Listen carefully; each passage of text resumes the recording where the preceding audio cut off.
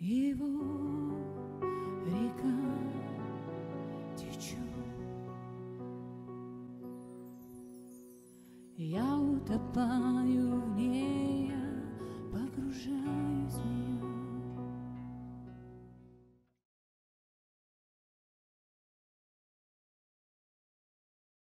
А, Друзья, ну что я хочу сказать. У нас сегодня начало, начало три дня. Три дня мы будем, а, три дня мы будем погружаться, погружаться в Божье присутствие. Больше, глубже. У этого, а, у этого потока нет дна. Нам 7 лет церкви, но а, мы даже не из-за дня рождения здесь собрались в церкви на самом деле. Хотя это было это ну, од- один, из, один из моментов, которых мы хотим, от- хотели бы отметить в это время здесь. Вот. А, Ну, отметить, знаете, как, э, как поставить какой-то памятник в это время, сказать, что вот мы прошли прошли эти 7 лет. У нас было 7 лет.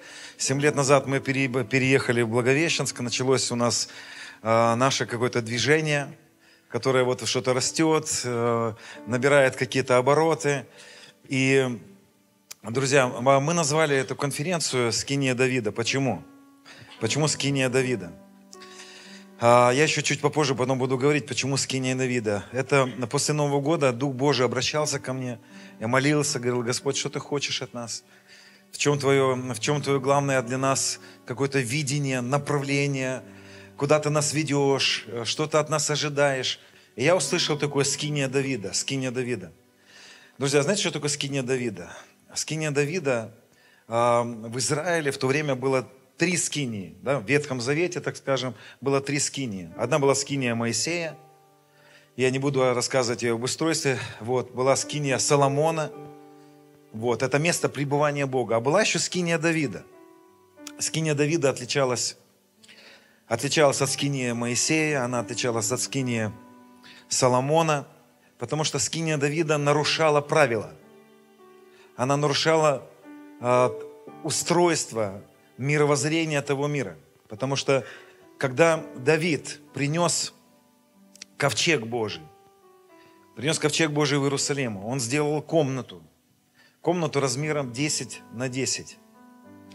И в эту комнату он поставил ковчег. И в течение 40 лет, в течение 40 лет, круглосуточно там проходило поклонение. Там было круглосуточное пребывание Бога с, с людьми. Сам Давид заходил туда. Это было запрещено. Вы знаете, что, вы знаете, что только первосвященник мог зайти к ковчегу раз в год.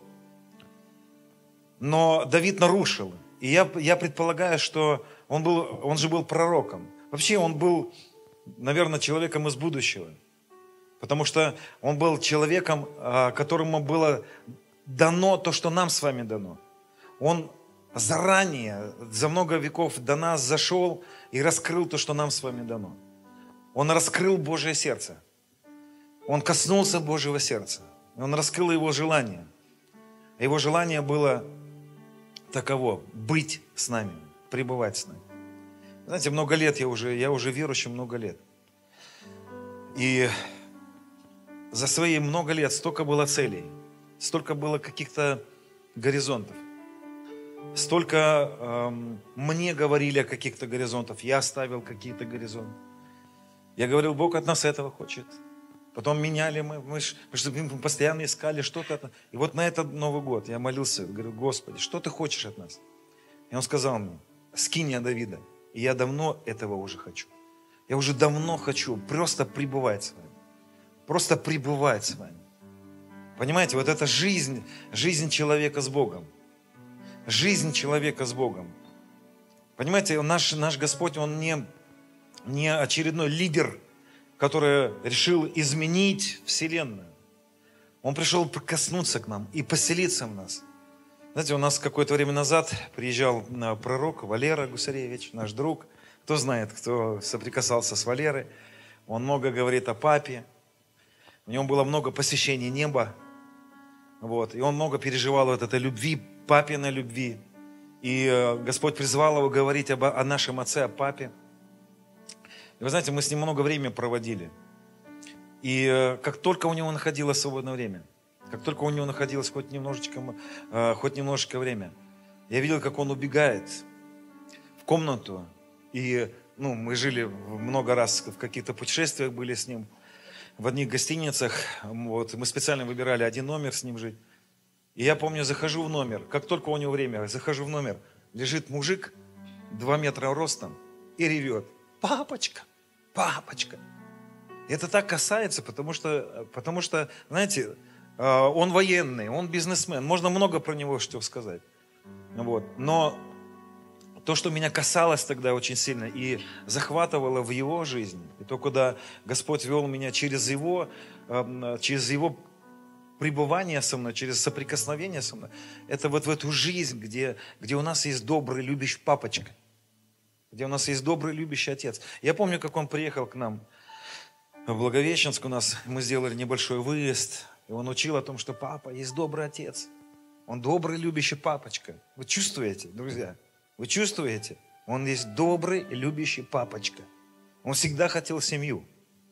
Он всегда хотел семью. И на собрании была одна сестра, и она погружалась в эти темы о том, что, есть, что наш Бог добрый, любящий Отец. И я помню, на следующий день она пришла ко мне и говорит, у меня был сон пророческий, Господь дал мне сон. Я говорю, что там, что у тебя было? Она говорит, во сне я увидела папу, небесного Отца. И он сказал мне, дочь, я наконец-то нашел тебя.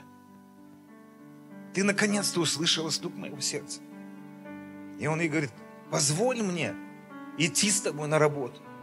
Позволь мне ложиться спать рядом с тобой. Да? Позволь мне быть с тобой везде, куда бы ты ни пошла. Он говорит, я просто хочу быть с тобой. Вот это соприкосновение с его сердцем. Знаете, почему мы здесь собрались? День рождения. Да, у нас день рождения церкви. Но если мы собираемся за день рождения, мы мимо пройдем. Мы проскочим мимо. Мы, мы пробежим мимо.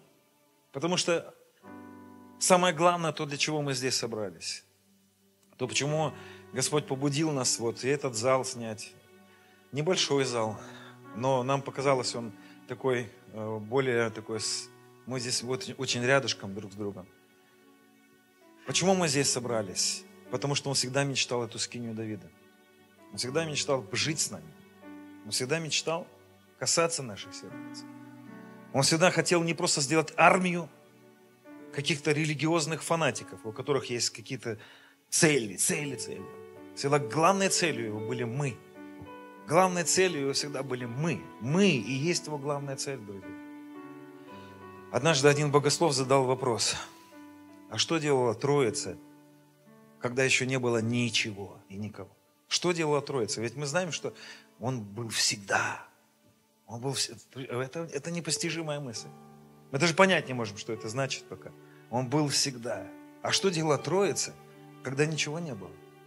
Когда не было Земли, когда не было планет. Ведь когда-то же этого не было. А что делала Троица?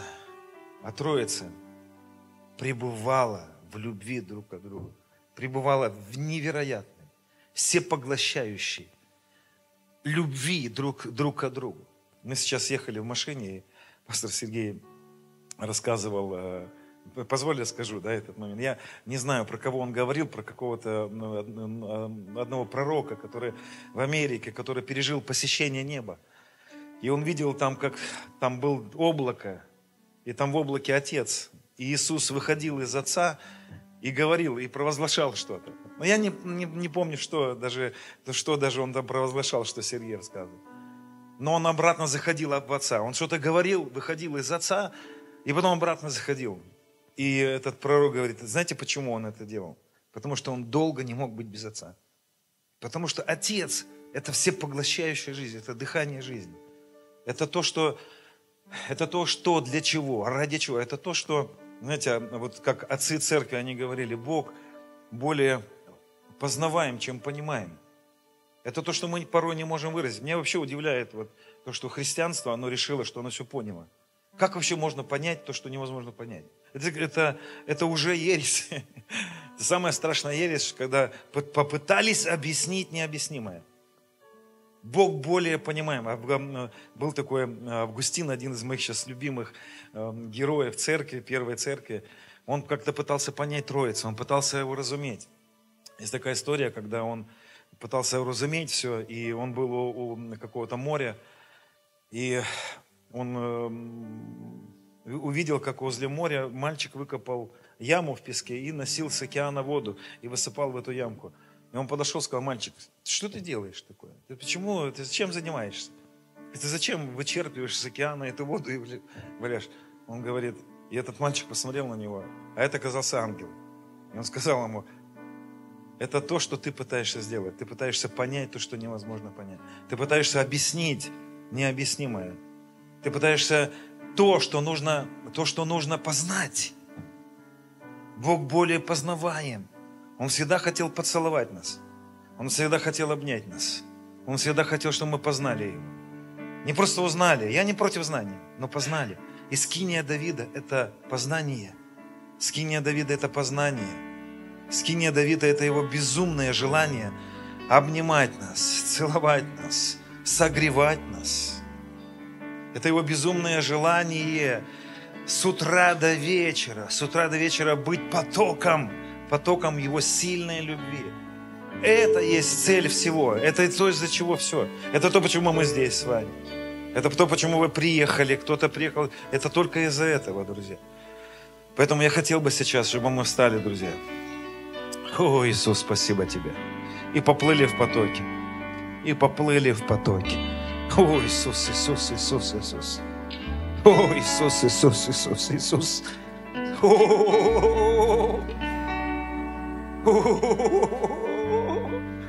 О, Иисус, Иисус, Иисус, Иисус. О, Иисус, Иисус, Иисус, Иисус. О, Иисус, Иисус. О, какое волшебное имя. О, какое сладкое имя. О, Иисус. Кумасатулу кумасанда. Кемала масотоло броштикира лабранда. Менала масотоло браманасанда. О, Иисус. Сетела масотоло мошита лабранда.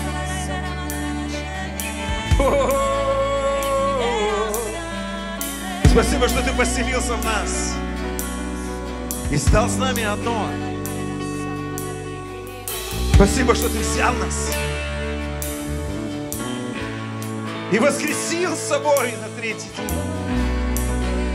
И сделал нас с собой одно. И разрушил все преграды, разрушил все преграды, разрушил все преграды, чтобы создать с нами скинию, чтобы воссоздать это жизнь с тобой, чтобы вернуть нас в жизнь с тобой. Oh,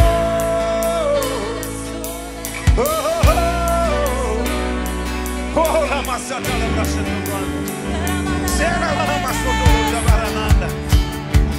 hey, hey.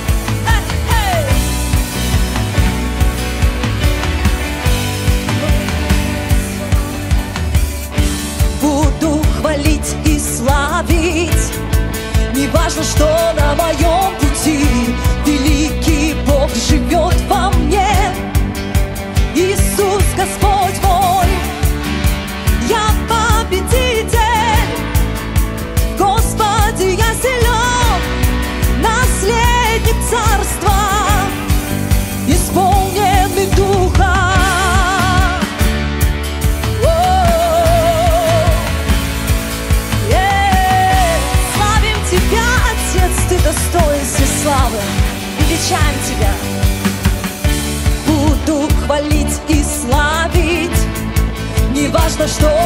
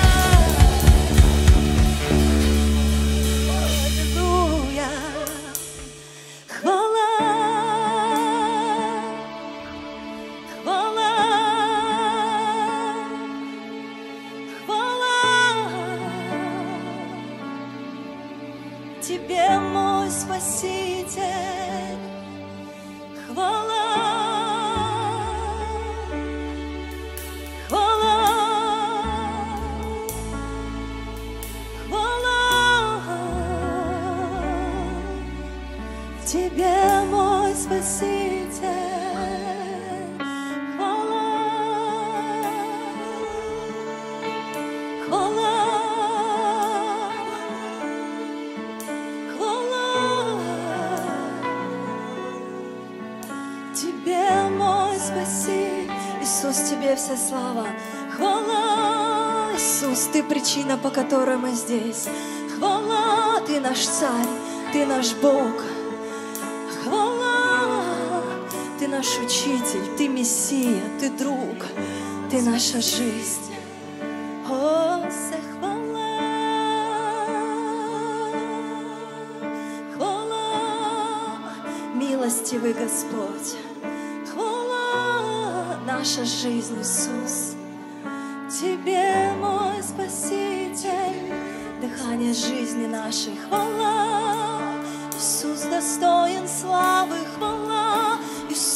那是谁？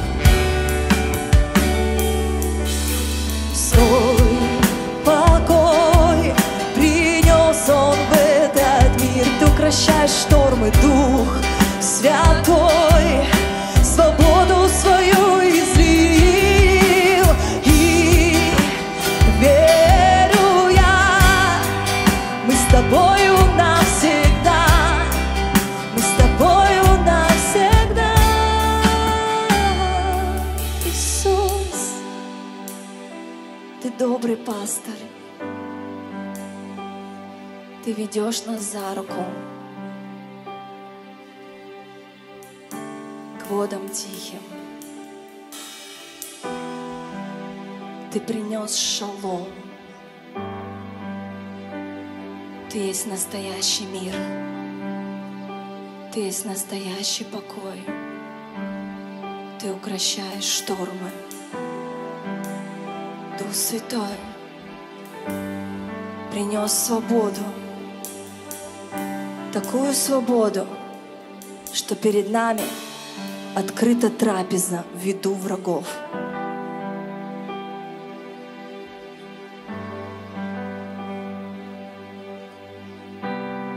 Благодарим Тебя, Господь, за Твою милость и любовь. Как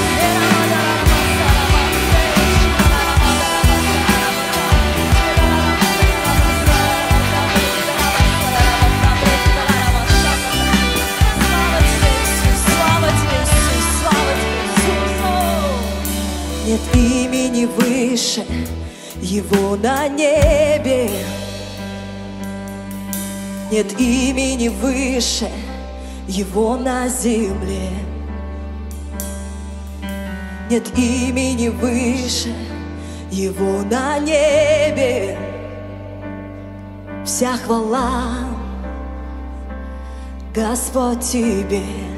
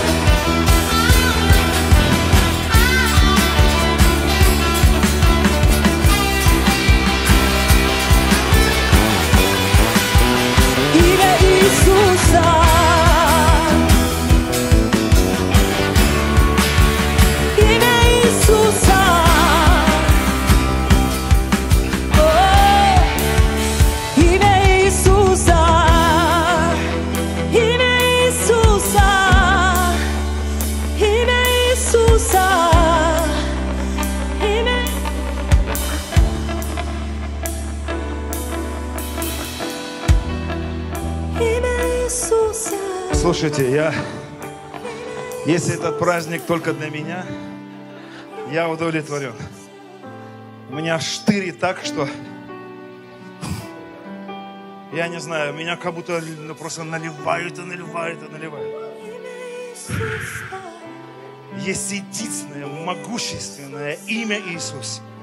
Сильнее этого имени нет.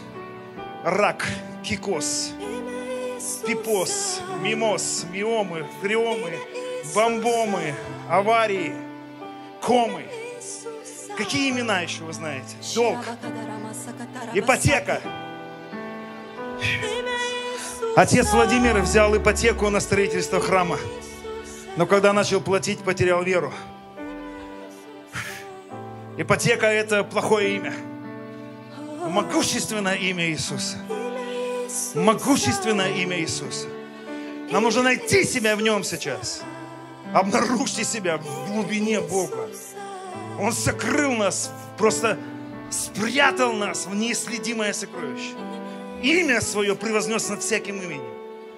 Враги, какие бы они ни были, долги, имена, болезни, я не знаю, какие имена есть на этой земле. И что может быть могущественнее имени Иисуса. Могущественнее имени Иисуса. О, Иисус. О, Иисус. Нигара, когда... Вот я хочу пригласить немножко Нигару. Она расскажет сон свой, который был у нее сегодня, когда она летела в самолете. Господь ей дал сон, и мы верим, что это для этого времени. Она увидела ангела во сне, который действует здесь, и у которого есть маленькие секреты. Вообще у нас несколько снов было перед этой конференцией, где посещали ангелы. Разные ангелы приходили и называли имена, и говорили, как они будут действовать, что они будут совершать. И, друзья, поверьте, под лежачий камень никогда вода не побежит. Никогда не побежит вода. Это то, что нужно просто, знаете, как губка а, в себя взять. Это то, что нужно просто взять, я хочу. Я не понимаю, но я хочу. Я приглашаю моего близкого друга, я потом еще ее буду представлять. Хочу, чтобы Нигара рассказала свой сон сегодняшний, когда она летела в самолете. Потом мы продолжим поклоняться. Я верю, что поклонение – это ключ для того, что будет здесь происходить. Давайте мы поприветствуем ее немножко.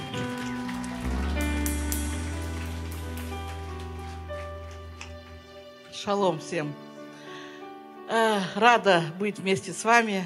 Это просто для меня такое легендарное, наверное, место, вообще легендарная история, наша встреча с Денисом. И все, что происходит дальше в моей жизни, это благодаря этой встрече, нашему столкновению пророческому. Это Божье столкновение. Я верю, что сегодня у вас тоже, да, те, кто приехали из других городов на эту конференцию, у вас тоже будут происходить эти Божьи столкновения. И это сон, наверное, одно из тоже того, что будет здесь происходить. И я поняла, почему Денис сначала сразу дал это сказать, чтобы мы уже могли принимать это.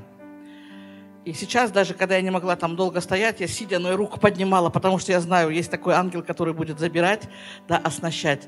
Э, В самолете, вот в этот раз, когда я летела, э, вижу, вдруг на небе появляется такой ангел, у него такая белая одежда, интересная одежда была, и он так летит, и такие крылья большие белые. И вижу, что он только подходил туда, где руки были подняты. Две руки вот так подняли, и чем выше поднимали, он подходил, видел, подходил их забирал, забирал. И много-много рук было, а некоторых рук не было. А я слушала песню, мне очень нравится, эту песню часто слушаю в самолете, «Я в твоей любви».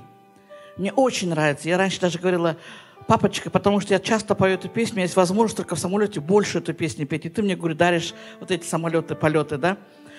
И этот сон о том, что чем больше мы будем да, поднимать руки и говорить, что я здесь, я этого хочу, вот то, что вот это слова такие сильные, да, выше имени Иисуса ничего нет, только Его имя, вот выше. И когда мы это хотим, принимаем, и ангелы будут захватывать, забирать нас.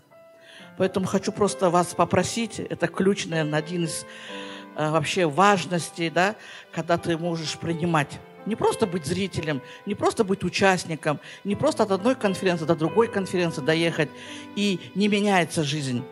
Э, Самый простой вообще ключ, наверное, когда мы готовы принимать. Раз вы приехали, у вас есть желание, у вас есть жажда, да, что-то вы хотите еще дополнительно принимать.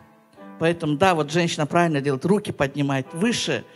И во время поклонения, да, уже ангелы здесь, они видят, насколько мы хотим этого. Ну, не просто вот так тупо, а реально жаждать этого. Я видела, что Денис больше всех скакал. больше всех. И это так работает. Поэтому аминь. Мне всегда больше всех надо. Давайте встанем, друзья. Здесь просто поток есть. Я знаю, что, может быть, может быть, кто-то от суеты сейчас еще отрывается. Для кого-то это процесс. Кто-то быстрее прыгнул в реку. Кто-то быстрее попор пошел на глубину. А кто-то, может быть, но это наше. Один из э, ранних вот мужей Божьих когда-то сказал такую фразу. Жизнь человека с Богом зависит от двух неравных, но равно необходимых усилий. Божьей благодати и человеческой воли, и человеческого позыва, человеческой... Друзья, Нигара увидела во сне, как а, люди поднимали, поднимали руки, начинали хвалить, поклоняться. И ангел, который летал, ангел с крыльями, он высвобождался, действовал. Друзья, давайте поднимем свои руки, давайте вспомним заповедь. И нет имени больше, чем имя Иисуса. Могущественное имя Иисус. И я просто на этом месте сейчас высвобождаю силу имени Иисуса. Я говорю, сила искупительной силы крови Иисуса. Нет большей силы, чем в силах имени Иисуса. О. Давай будем молиться сейчас. О, рабака сото. Шете броко сото крабасото лото браханда.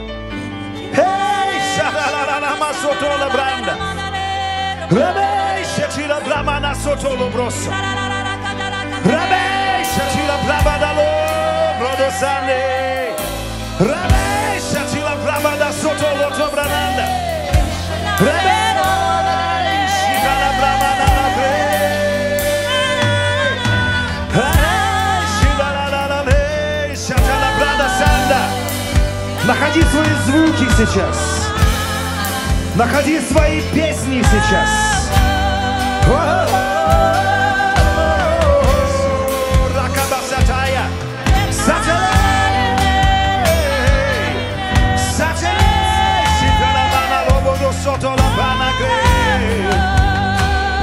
Нет больше имени, чем могущественное имя Иисуса.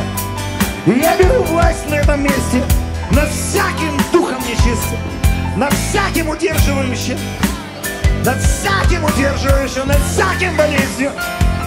Могущественное имя Иисуса. Я высвобождаю свободу на этом месте. Я высвобождаю свободу прямо сейчас. Поднимай еще свой голос. Эй,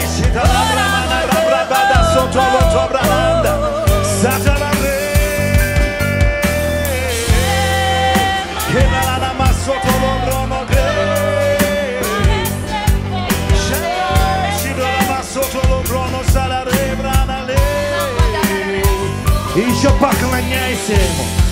Еще ныряй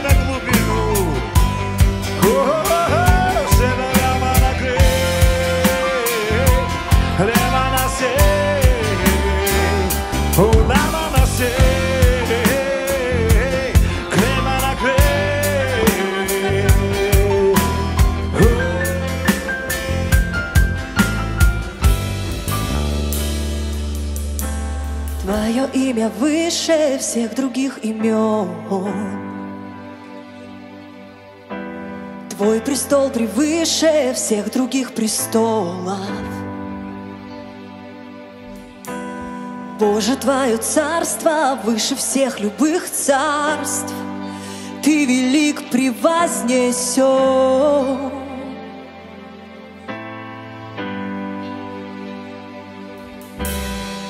Любая слава под Твоей славой И любая сила под твоей силой, Дух Святой. Всякий дух склонится пред твоим духом, Ты велик превознесен.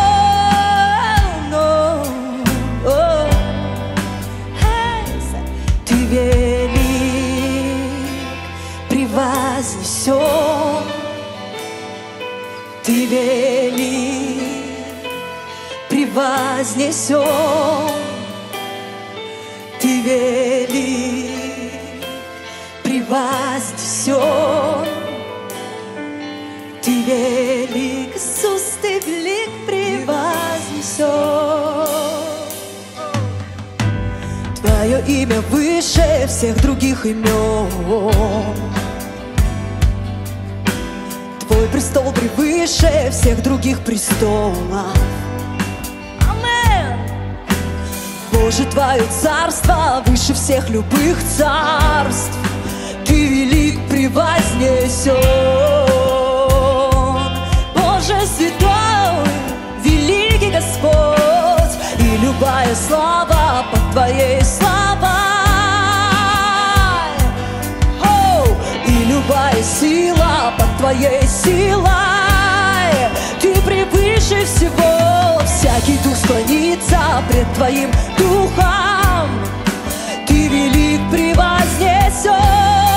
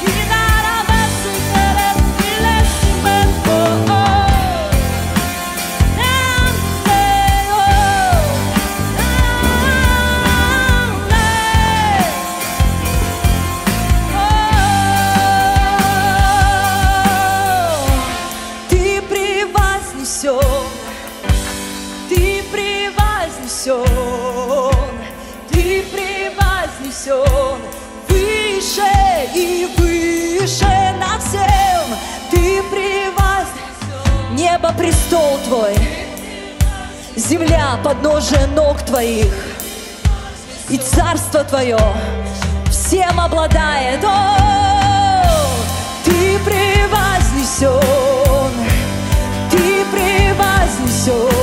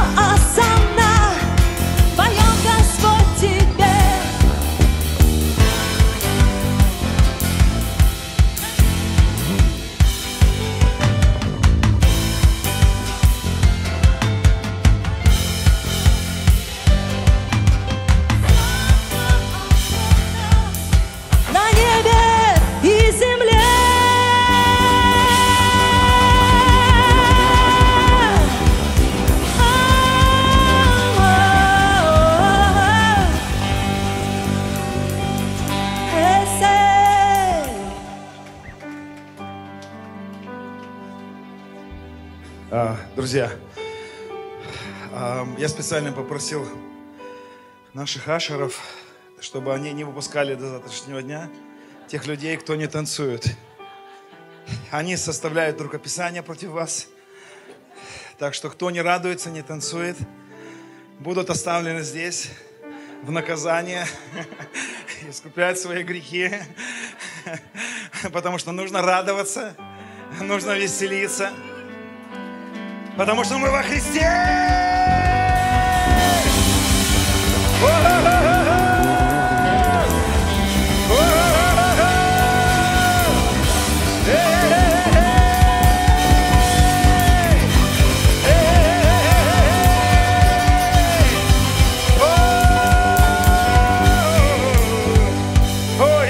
Спасибо тебе.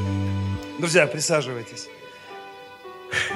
Я хочу вас спросить, чтобы в эти дни Бог был более переживаем вами, чем понимаем. Потому что что мы с вами ожидаем, то Он нам и даст. Что мы с вами от Него ожидаем, то мы и получим. Я, я вам гарантирую. Я люблю очень часто говорить, что Бог это не учительница в советской школе, у которого есть любимчики. Нет, у него все любимчики.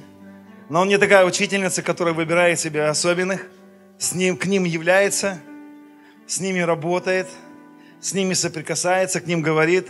А остальные, как бы, пусть, что будет, то будет, то достанется, то достанется. Нет, он выбирает тех, кто его выбирает. Послушайте, он выбирает тех, кто его выбирает. Он выбирает двигаться там, в жизни тех людей, которые, которых не устраивает обычная жизнь. Он выбирает таких людей, ищет. Ему без разницы, будет ли это мужчина или женщина. Ему без разницы, будет ли это маленький мальчик, как это был, каким был молодой пророк Самуил. Был ребенком.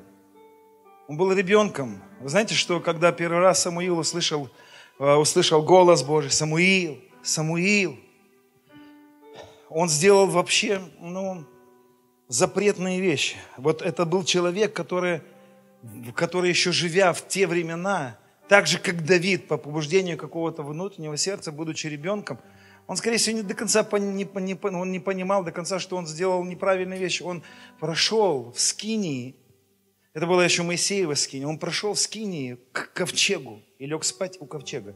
Это был нонсенс, это было, это было невероятно, это было нельзя. Только левиты могли проходить туда. Да, первосвященник мог проходить, а он спал у ковчега написано. Это был один из этих людей, которых, которых влек Господь. И без разницы, мужчина или женщина. На всякую плоть. Наверное, лет 20 назад я услышал эту мысль. И залью на всякую плоть. Ему без разницы, какая плоть. Ему нужно, чтобы эта плоть возжелала спать у ковчега. Ему нужно было найти плоть человека, который прорвался бы сквозь все запреты. Все запреты разума, все запреты людей, все, все, знаете, как бы комплексы. Если ты, может быть, с детства себя ощущал недостойно, вот это они, это моя. Это не про Бога, это не про, про, про то, что сделал для нас Господь, это не про это. Он выбирает тех, кто его выбирает. Маленький мальчик прорвался и спал у ковчега. Это была скиния Давида. Это был человек, который хотел скинию Давида. Это был человек, которого не устраивала просто жизнь, как у всех других. Это был мальчик. И Господь говорит, кого? Ну кто? Кто? Кто? Кто просто не будет этим лежачим камнем? Кто не будет этим лежать? Кто приподнимется, чтобы возжелать глубины? Этот был мальчик. И он влек. И этот мальчик пошел к ковчегу. А ковчег – это место его присутствия. И он пришел к этому ковчегу и лег там. И услышал Самуил, Самуил. Друзья, он искал вот этих, всегда искал этих людей, которые, которые поймут, что Господь, он не, он не хотел, знаете, создать армию евангелистов. Он никогда не хотел создать армию протестантов. Вот ему не нравились другие конфессии, он решил другую конфессию создать, протест, протестанты. Потом ему не понравилось что-то в протестантах. Он решил создать у протестантов еще некоторых протестантов. Когда я себе задаю вопрос, кто я? Я, не, я вот, допустим, задаю себе, я протестант, я не могу, я не протестант. Православный? Нет, я не православный. Я сын. Вот как мое сердце откликается. Вот то, что у меня звучит внутри. Я сын. Он пришел на эту землю не просто создать организацию. На этой земле было много и до этого организаций. Кто знает из вас, что буддистская организация более нравственная, чем христианская? Знаете, что буддисты никогда не нападали на другие нации. Они очень мирные, они очень нравственные. Если бы ему, ему нужна была бы просто нравственный, такой, такой, знаете, люди, которые ведут себя просто хорошо. Просто он хотел всегда, знаете, чтобы, чтобы найти людей, которые хорошо себя ведут. Он бы взял, взялся бы там буддистов, кришнаидов или каких-нибудь других идов. Он не связался бы с нами. Христиане нас делали воин больше, чем кто-либо. Знаете, мусульмане столько не воюют, сколько христиане воюют. Он никогда не хотел себя найти просто людей, которые, которые, которые будут просто хорошими людьми. Вот он искал хороших людей. Мне нужна группа хороших людей. Я ищу хороших людей. Где мне найти хороших людей? Нет. А еще я хочу, это, чтобы эти люди были, ходили и делали. Он не искал, знаете, он не создавал клуб, где, где, он, где люди окунутся в моральные проповеди. Моральных проповедей вот так вот в других религиях. Он всегда искал вот этих людей. Детей. Ему без разницы, какой возраст. Кто скажет, у меня уже не возраст, а мне не возраст. Это не я, это не про меня. Я уже в возрасте. Друзья, Аврааму было очень много лет. А Иаков, кто знает, кто, сколько было Якову лет, когда он ушел от матери? Больше 75 лет ему было. У него Иосиф родился в 103 года. Казалось бы, в шеф все пропало. Но для него не важно, какой возраст. Это мы ставим какие-то вот эти, вот эти э, ограничения. А он ищет тот камень, который приподнимется, чтобы под него побежала вода. Это мы определяем уровень. Знаете, в реке Иезекииля не река определяла уровень того человека, который шел по этой реке. Не, нет, не река. Это, это входящий в реку определяет глубину. Входящий в реку определяет глубину взаимоотношений. Там нет дна. Там нет дна, там нет дна. И, друзья, он всегда хотел, чтобы просто быть с нами. Да, он не против, конечно, чтобы мы с вами поехали в разные страны и рассказали, какой у нас добрый отец. Ведь что такое евангелизация? Это особенный, особенное мероприятие этих, э, этой организации. Так нет, евангелизация – это поток любви Отца. Вот всегда, что Он хотел. Он хотел найти людей, которые Его будут обнимать, которые, которые позволят Ему их обнимать, целовать, вести в глубину отношений с собой. И потом, чтобы эти люди пошли и рассказали, какой любящий папа, какой добрый отец у нас. Он всегда хотел поселиться в нас. Вот его задача была. И это не теология. Это не теология. Я видел за свою жизнь нем- немало теологов, которые вообще его не знают. Они просто его не знают. Они знают что-то о нем. И знаете, христианство, оно потихонечку-потихонечку превращалось просто в набор каких-то каких пониманий, пониманий, пониманий. Кто из вас слышал, что э, мусульмане, допустим, говорят так, ваша религия такая сложная. Вы учитесь, учитесь, учитесь, сами разобраться не можете в вашей религии. Потому что христианство превратилось в попытку все объяснить. Объяснить это, объяснить это, объяснить это, объяснить это.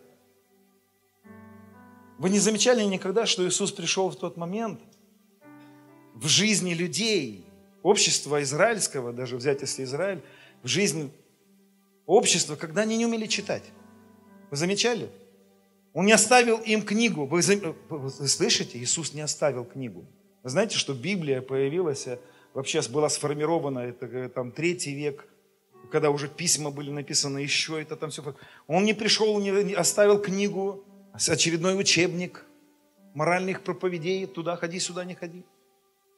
Он пришел к неграмотным людям, потому что он никогда, никогда, он не, он не ставил себе этой целью просто набрать людей, которым объяснить новые правила жизни.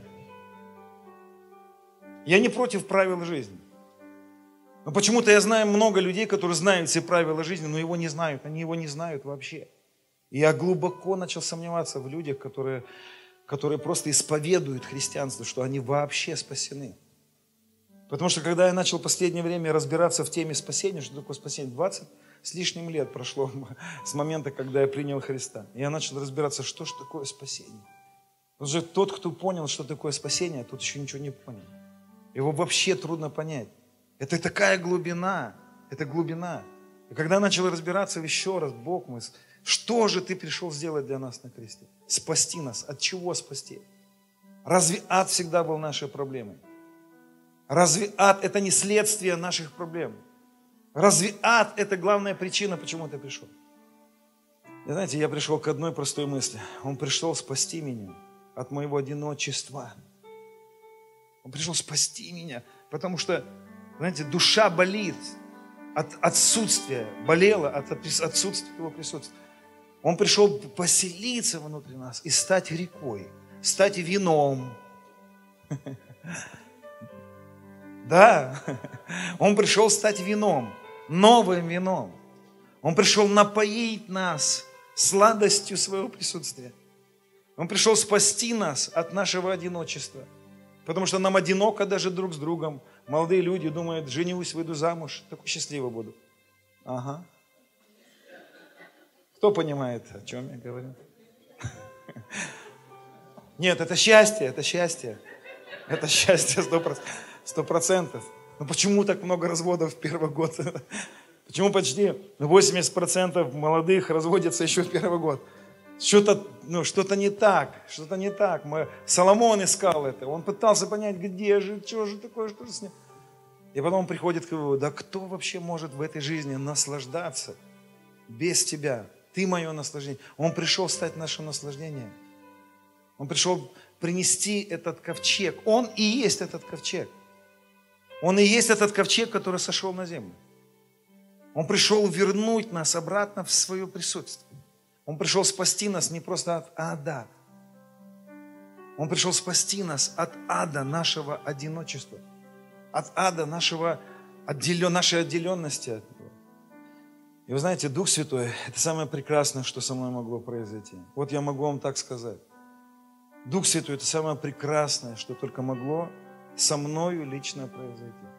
Это самое прекрасное, потому что Дух Святой – это то, для чего пришел Иисус. Вы знаете, что а, Писание говорит так, когда Авраам, он выходил из, из своей, своей халдейской земли, Авраам а, 12 глава Бытие, Господь ему является и говорит, выйди, Авраам. Зачем Авраам вышел? Он говорит, для того, чтобы Авраам, в тебе благословились все народы. Я хочу благословить все народы. Все народы. Авраам был подарком для всех народов. Но разве Авраамом хотел Господь нас благословить? Он говорит, в тебе, Авраам, благословятся все народы. А вот Давид, а вот Павел в своих посланиях, он объясняет, чем Господь всегда хотел благословить нас. Павел очень просто объясняет эту мысль. Это послание Галатам написано, 3 а, глава, 13 стих. Христос искупил нас от проклятия закона, сделавший для нас, за нас клятвою, ибо написано проклят всяк, висящий на древе, дабы благословение Авраамова через Христа Иисуса распространилось на язычников, чтобы нам получить обещанного Духа верой. Дух Святой – это и есть цель пришествия Христа. Авраам вышел, чтобы через него пришел Христос. Христос пришел, чтобы взять на себя нашу вину, умереть, взять на себя наши, наши грехи. И чтобы больше ничего не мешало нам получить Дух Святой и жить. Дух Святой – это и есть цель нашей жизни. И, друзья, я последнее время к своему ну, такому стран, страшному удивлению обнаружил путешествие по некоторым церквям. Я не буду это делать здесь, но я проводил такой тест. Я просил поднять руки тех людей, которые уже больше десяти лет находятся в церкви, которые себя, себя считают спасенными. И подняли люди, много людей поднимали люди. Я спросил, кто из вас никогда не переживал Дух Святой? лес рук. И я говорю, подождите, вы спасенные? Да, мы верим, что мы спасены. От чего тогда вы спаслись? Что тогда, что, что произошло с вашим спасением?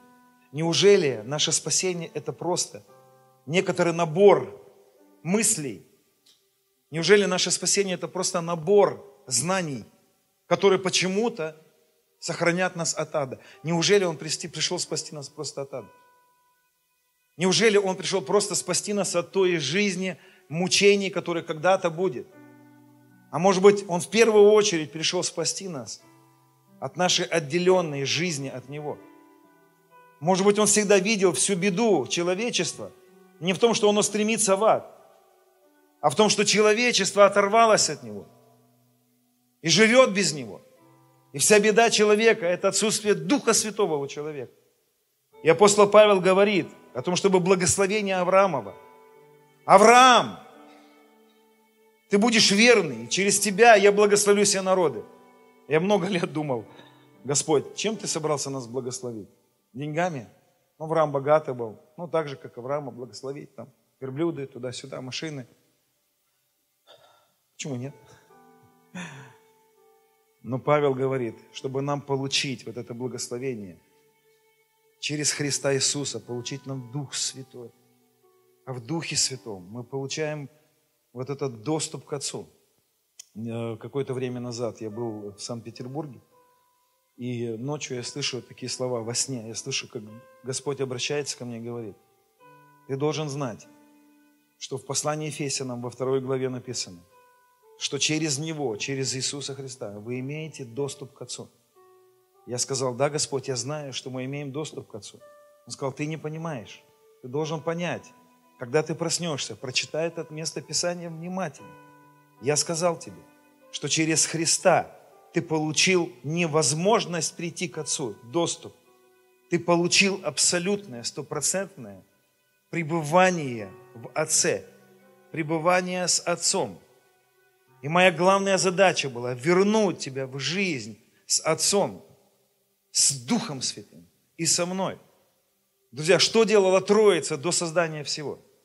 Она пребывала. Зачем Троица создала нас? Зачем все появилось? Неужели для того, чтобы когда-то появилась организация с крестом? Неужели ему просто нужна была очередная организация, где соберутся нравственно настроенные люди? Ему нужны были вот эти поклонники. Он всегда искал поклонников, потому что Троица до, со, до сотворения всего находилась в поклонении друг другу. Они поклонялись друг другу. Они выражали свою любовь друг другу. Они выражали миллиарды, миллиарды, миллиарды световых лет, они выражали любовь друг к другу. Они, они выражали восторг от друг от друга. Потому что когда-то ничего не было. И был только Отец, Сын и Дух Святой. И они выражали величайший восторг друг другом. И всегда эта троица хотела взять, найти еще кого-то, кому передать свою любовь.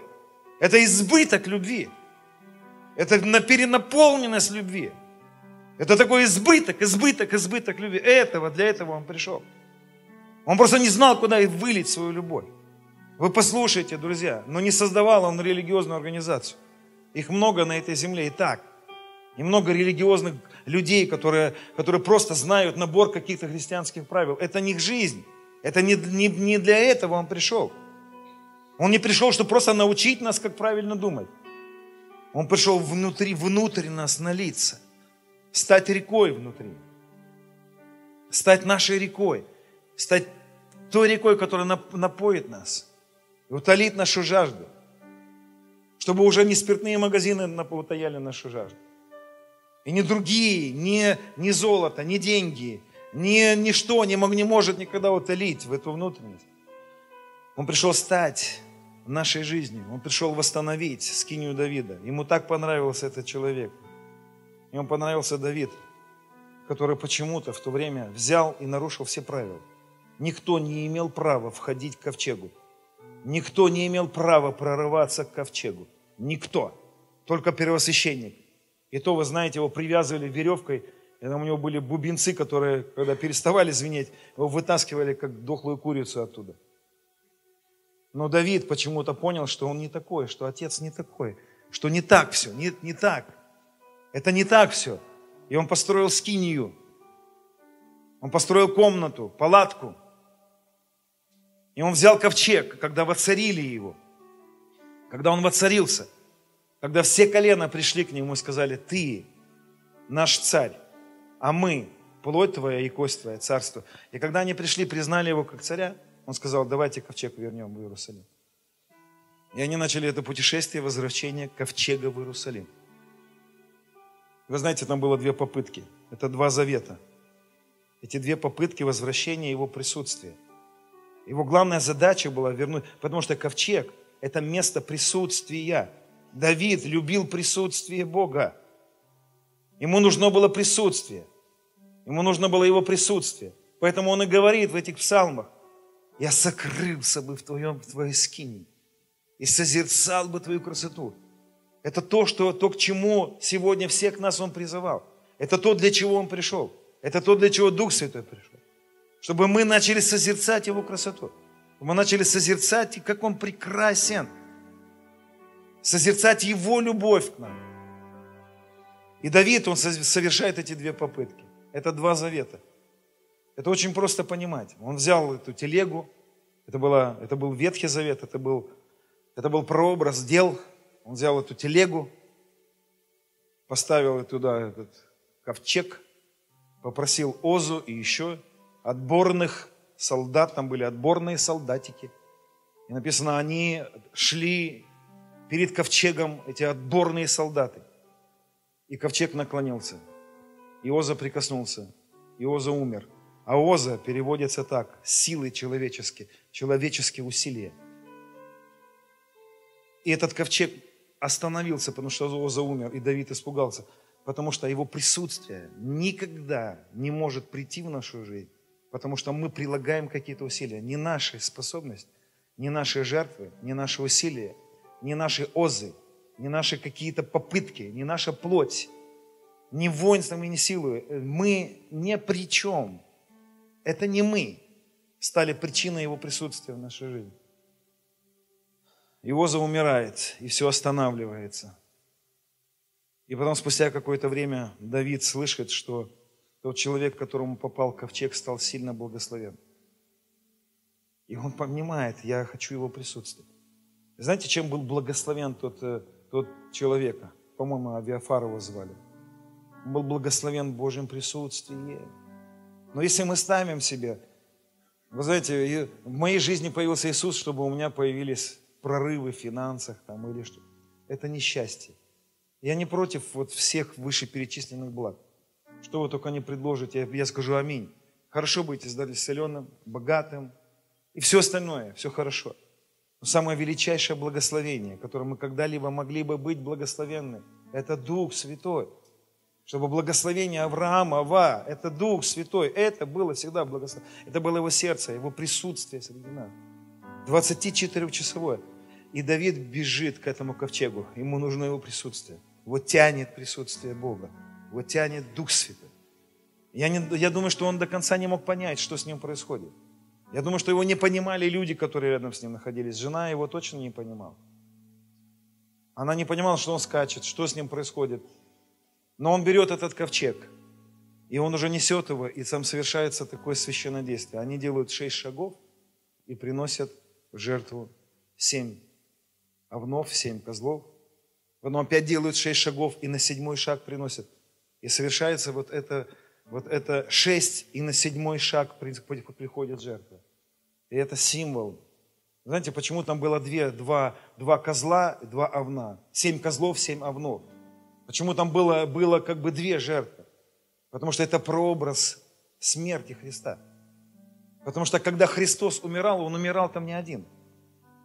Потому что присутствие, которое в нашу жизнь приходит, оно приходит только по одной причине. Потому что когда Он висел на кресте, там висел не только Он. Там были все мы. Все мы были распяты вместе с Ним. Там был распят Христос. И во Христе были распяты все мы. Все мы были распяты с Ним.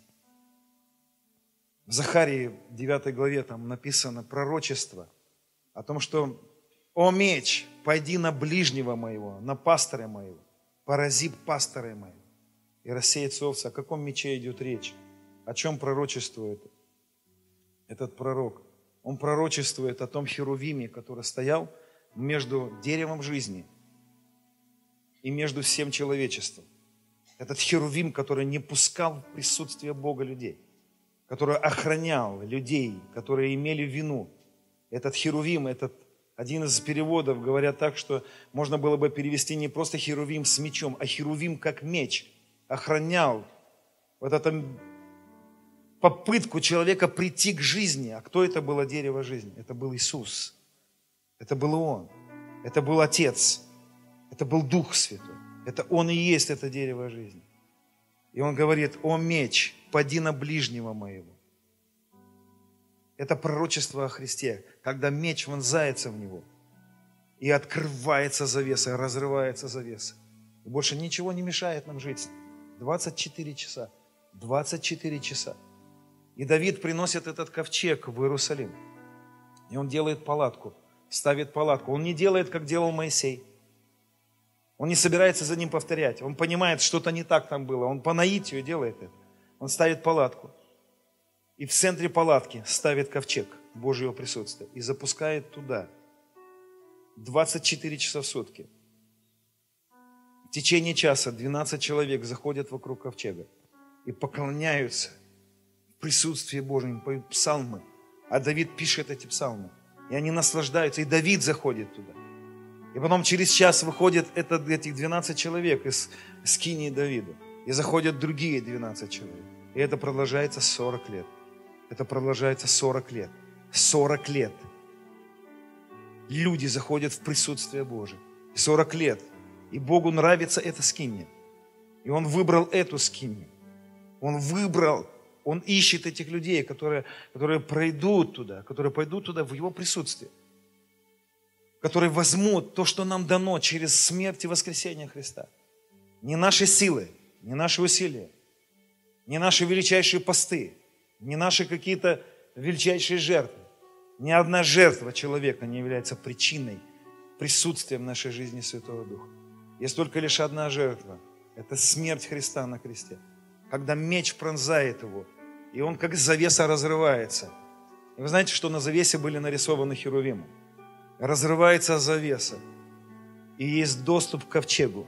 И мы приступили к ковчегу. И мы находимся рядом с ковчегом. Я много раз, вот наши люди знают, что я, я, знаете, я не люблю песню «Я вхожу в святое святых». Я ее не люблю вообще. Потому что она абсолютно не соответствует истине. Потому что если мы входим в святое святых, значит, мы оттуда постоянно выходим. Мне говорят, а как тогда петь, пастор, как ее петь? Я говорю, пойте ее так, я хожу в святом святых. Или я уже в святом, мне без разницы, но я не вхожу туда. Я и вообще не мог туда никогда войти. Это Он взял в себя все человечество. Он вплел в себя всех нас, стал нами. Принял удар меча на кресте. Умер, и с Ним все мы умерли воскрес, и все мы с Ним воскресли. И Он ввел, это Он ввел нас за эту завесу. Это не мы туда входим. Это страшная ересь. Никто из людей никогда не мог туда зайти. Он нас завел за завесу присутствия. Это Он. Своею смертью и воскресением, воскресив нас собой, Павел говорит, разве вы не знаете, что все мы, крестившиеся в смерть Христа, в смерть Его крестились? мы крестились с Ним в смерть, мы подтвердили своим водным крещением, что мы умерли с Ним. Чтобы как Христос воскрес из мертвых, славу Его Отца, так и нам ходить в совоскресшей со Христом жизнь, где уже Отец и Его абсолютное пребывание с нами. Всегда, всегда. Разве ты не знаешь, что ты имеешь доступ к Отцу? Всегда. Иисус говорит, Отец, ты во мне, а я в них. Где Отец? Где Отец? Иисус говорит, 17 глава Евангелия от Иоанна. Он говорит, Отец, Ты во мне, а я в них. Где Отец? Где Отец наш? Где наш Папа? Где наш Отец? Он там, где-то на небе, в недоступном свете.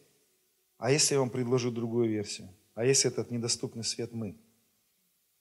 А если мы и есть тот самый недоступный свет? Ведь Он же сказал, вы свет мира. Ведь Он же нас назвал этим светом. А если мы и стали этим местом пребывания Его в нас, потому что Его страсть-то была в нас поселиться.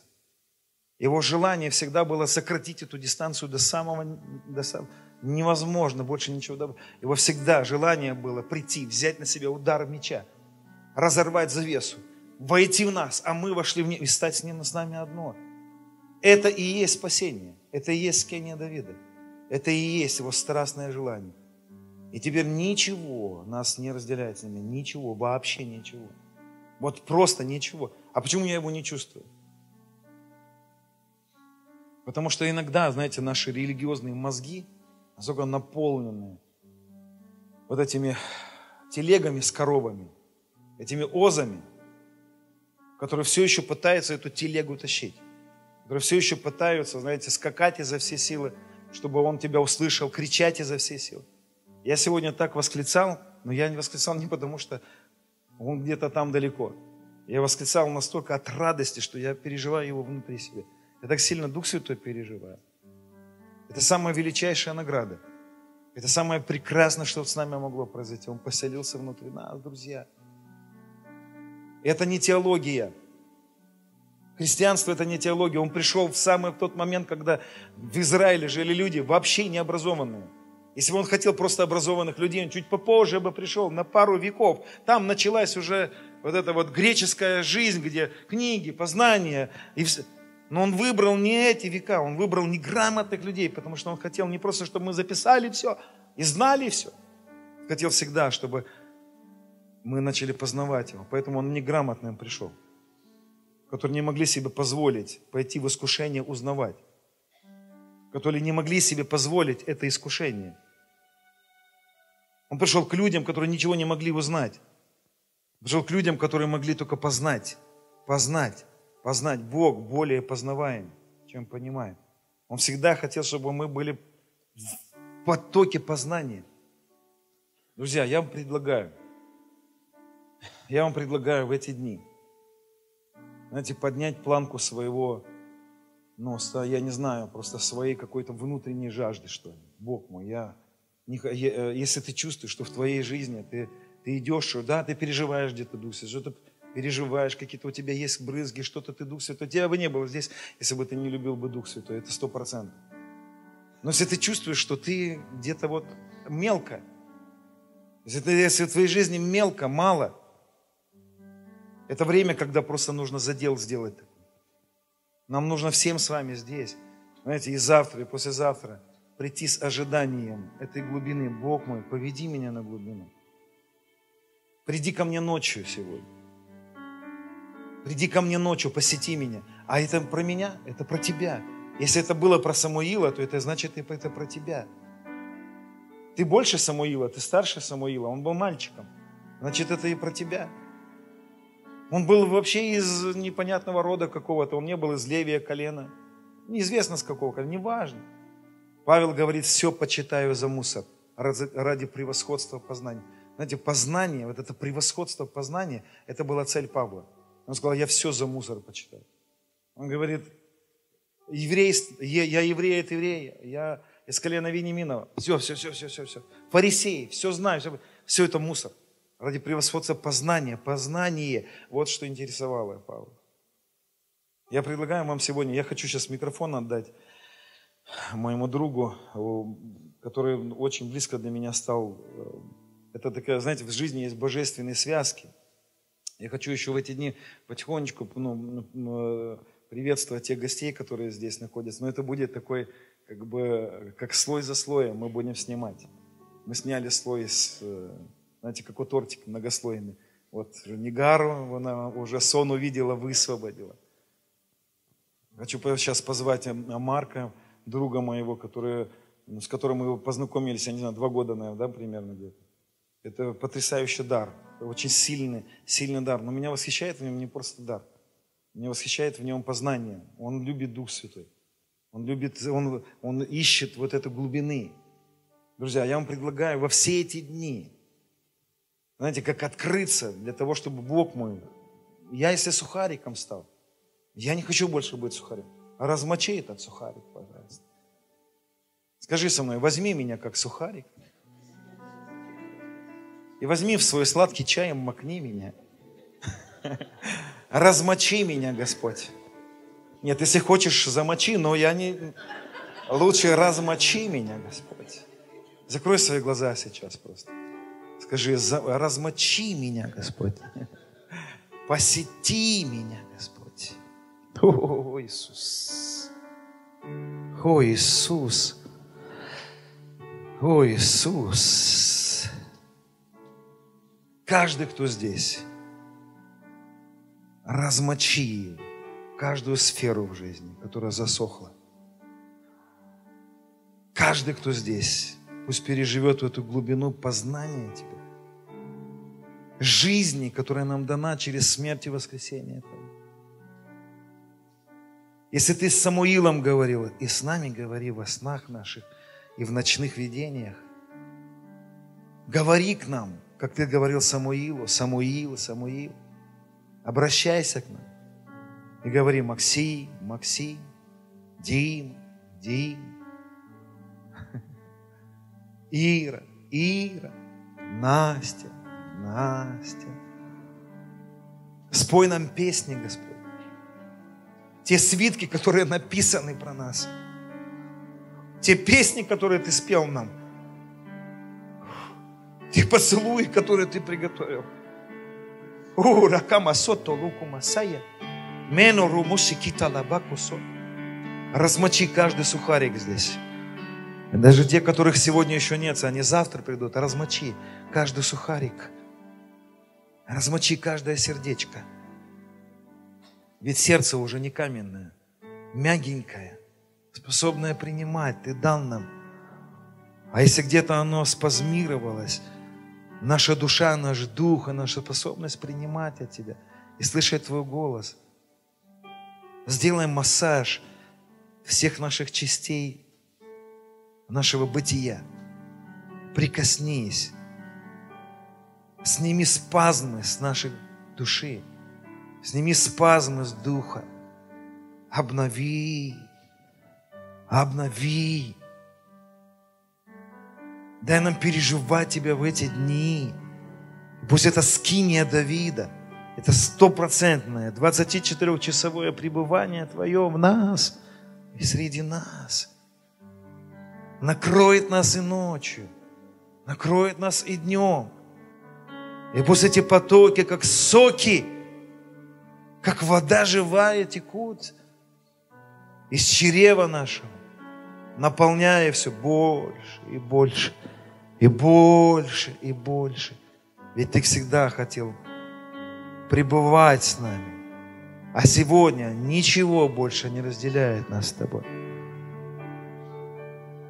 И мы не собираемся употреблять какие-то особенные усилия, как Оза. Мы принимаем Твою жертву. Мы принимаем, что Ты умер, и я умер. Скажи со мной, Ты умер, и я умер. Павел говорит, для меня уже ничего не значит ни обрезание, ни Оза со своими силами, ни необрезание. Он говорит, для меня вообще ничего это больше не значит. Но для меня весь мир распят. И я распят. Скажи со мной, я был распят с тобой. И я воскрес с тобой. И я с тобой уже одно. И мы с тобой стали один новый человек. И ты наша голова. Поэтому я жду твои поцелуи. Я жду твое объятие. Я жду, чтобы ты со мной работал, говорил со мной.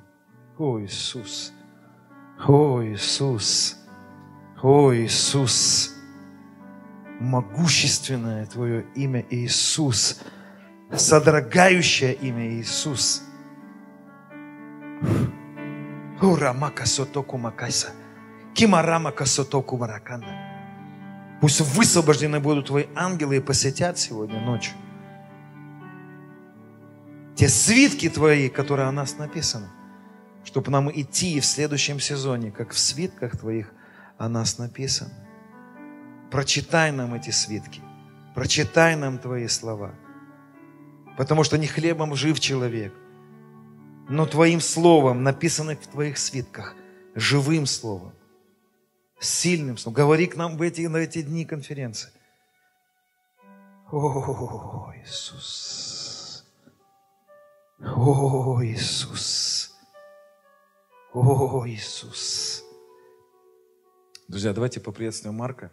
И не спешите никуда уходить, друзья. Мы будем сегодня молиться и возлагать руки. У нас Господь нам дал сны пророческие о том, чтобы, о том, что будет происходить здесь. Мы будем возлагать руки все дни, все дни, которые будут. И верю, что здесь будет наделение. И верю, что люди будут исцеляться.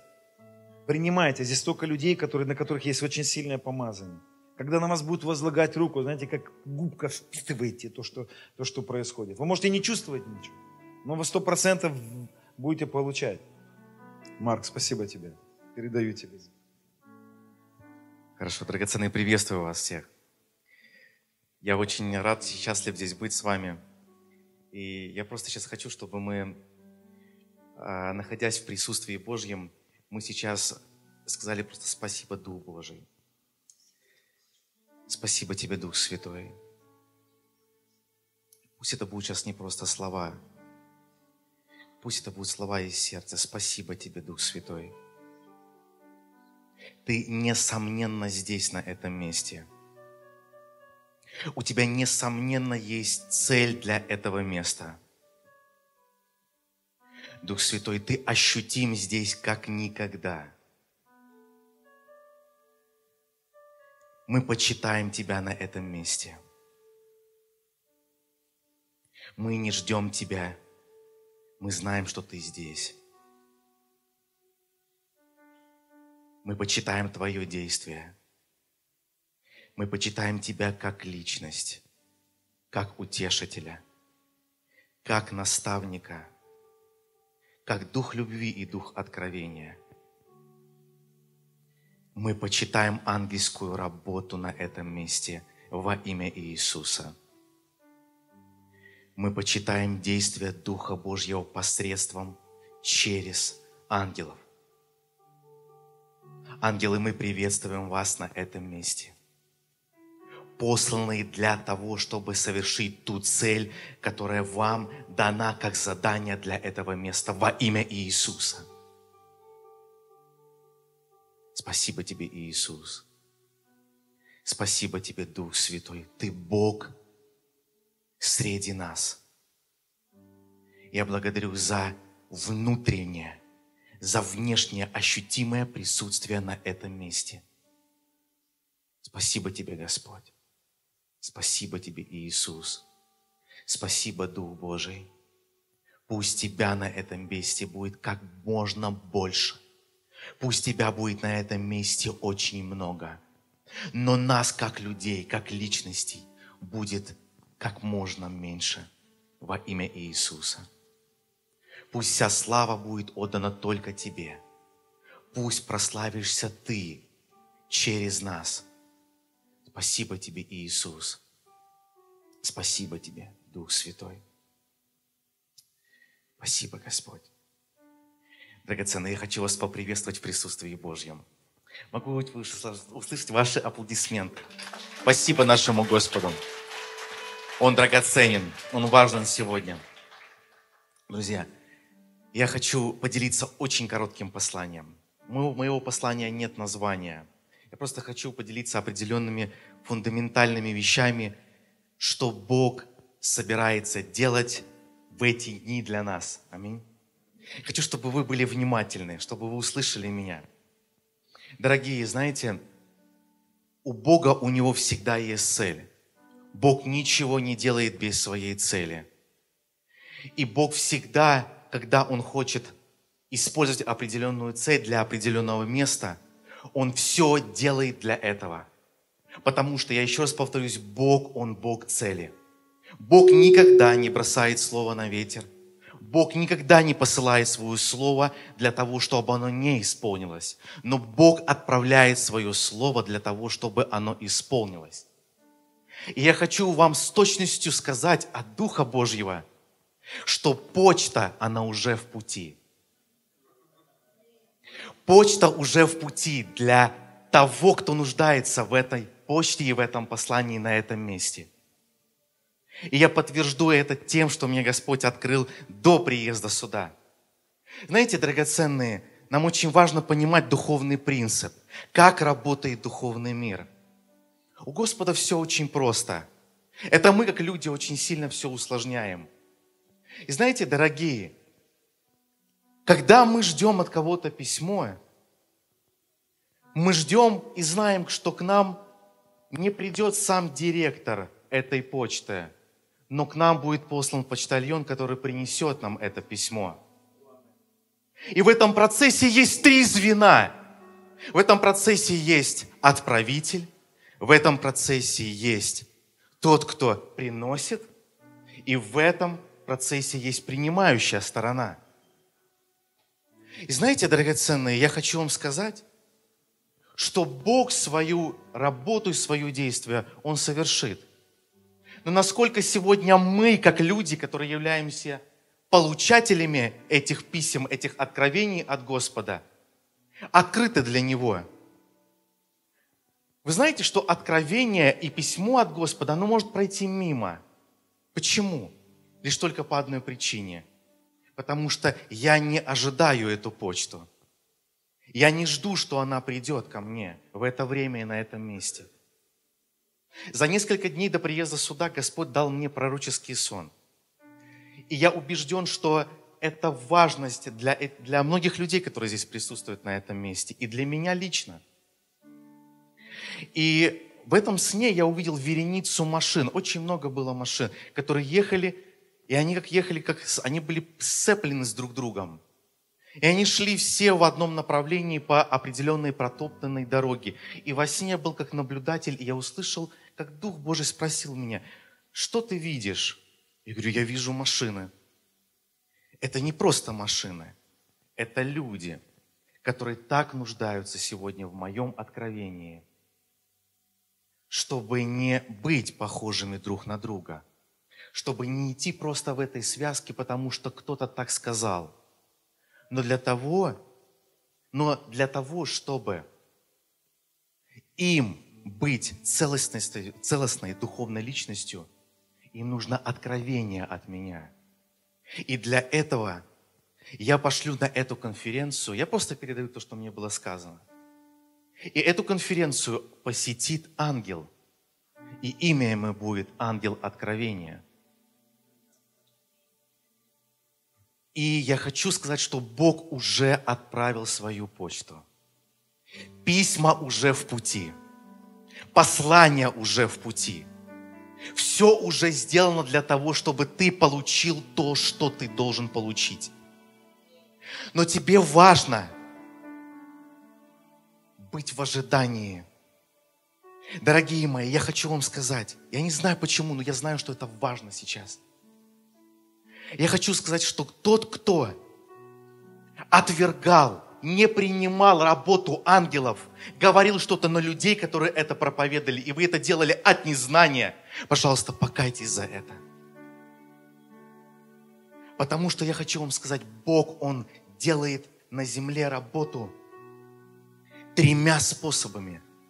Он это может сделать сам лично, Он это может сделать через человека, и Он это может сделать через своих ангелов и через своих ангелов Он выполняет большую часть работы на земле. Я не говорю сейчас про поклонение. Поклоняемся мы только Господу. Но нам важно понимать, как работает духовный мир. Когда мы понимаем, как работает духовный мир, мы начинаем открывать себя для духовного мира. И ангел откровения сегодня, он посетит это место. Я верю, что Он уже здесь, и нам нужно быть открытым для этого. Спасибо, Господь. Драгоценные, знаете, я хочу вам сказать, что это событие, оно планировалось за долгое время в физическом мире. Люди многие были подключены, команда, многие ресурсы были подключены. И это событие состоялось я вам хочу сказать, что в духовном мире происходило гораздо больше. Такая же подготовка этого события. Потому что есть определенная категория ангелов, которая занята тем, чтобы подготавливать то место, где должна совершиться работа Божья. И вам нужно понимать, что уже на этом месте Бог знал, что придете вы, что приедете вы, что посетите это место вы. И уже все было приготовлено для того, чтобы вы приехали. Не только в физическом мире, но и в духовном. И я хочу, чтобы мы сейчас с вами просто поблагодарили духовный мир тем, кто был связан в связке для того, чтобы это событие совершилось во славу Иисуса. Спасибо Тебе, Господь, мы благодарим Тебя за это. Спасибо, Господь. Спасибо Тебе, Иисус. Драгоценные, я хочу также прочитать одно место Писания.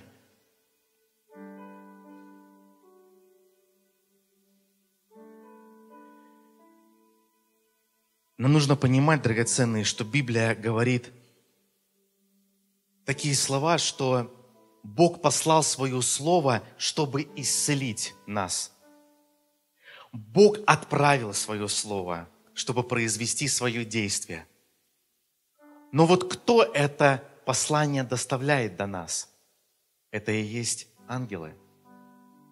Нам важно понимать, дорогие, и я знаю, что здесь есть люди, вы устали от служения, вам тяжело нести служение, в котором вы находитесь. Вы хотите оставить служение. Я вам хочу сказать, есть две причины, почему так происходит в вашей жизни. Первое – это потому, что то ли вы находитесь не в своем призвании, либо не в своем сезоне, либо вы не переживаете в своем служении поддержку и помощь ангелов. Вы знаете, что когда Иисус находился в пустыне – он дважды был искушаем сатаной. И в этом контексте сказано именно об ангелах. Он говорил, что спрыгни. И ангелы, они что? Они помогут тебе. Но он говорит, не искушай. Потому что, дорогие нам важно понимать, до, до пустыни Иисус, и в самой пустыне Иисус не взаимодействовал полноценно с ангелами в своем служении, потому что он не был еще в служении. Знаете, мы можем с вами переживать посещение ангелов, мы можем переживать помощь ангелов, но хождение и взаимодействие с ними – это совершенно другое.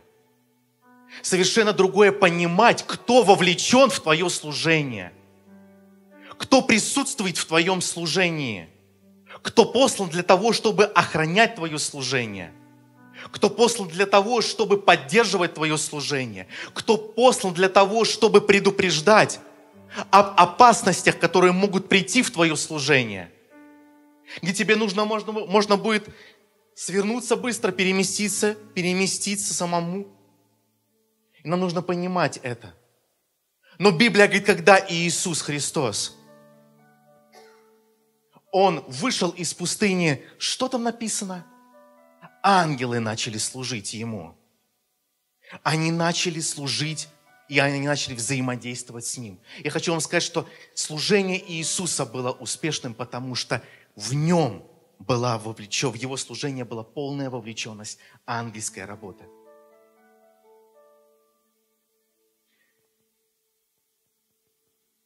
Будет ли ошибка, если мы скажем, что Дух Святой не вовлечен в мое служение? Абсолютно нет. Бог абсолютно нет. Я вам хочу сказать, что я очень много говорил о Духе Святом. Это мое центральное, это мое сильное послание. Я пережил встречу со Святым Духом.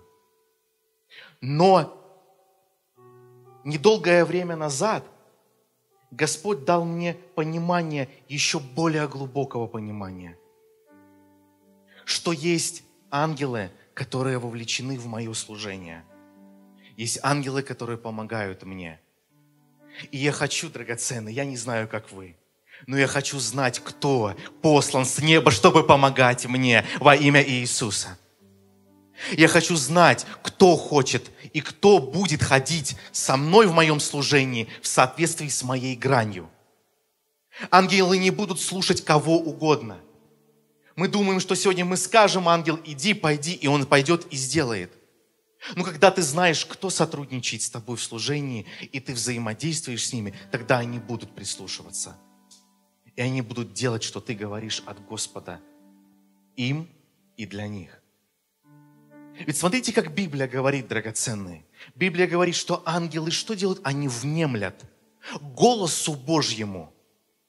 По-другому, в другом переводе звучит так, что ангелы внимательно прислушиваются к тому, что говорит голос Божий.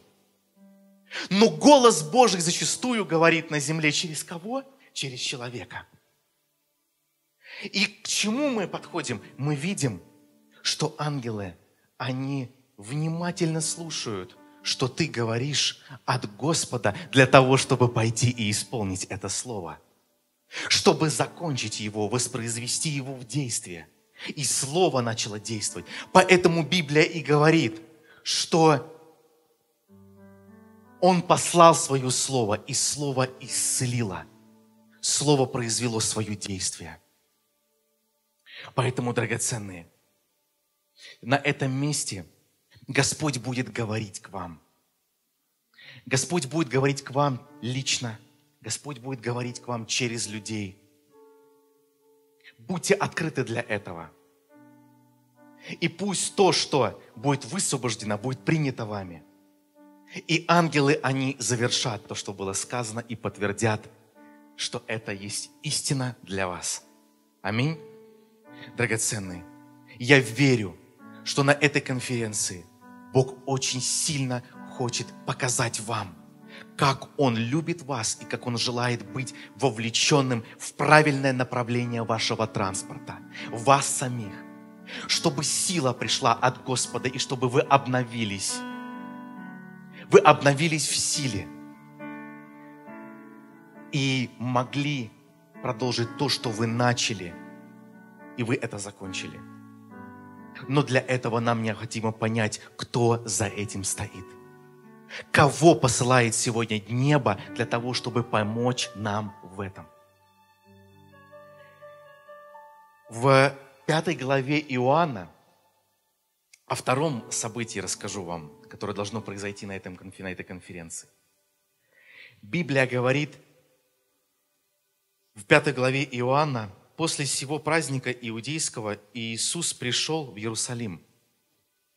Есть же в Иерусалиме у овечьих ворот купальня, называемая по-еврейски Вифезда, при которой было пять крытых ходов.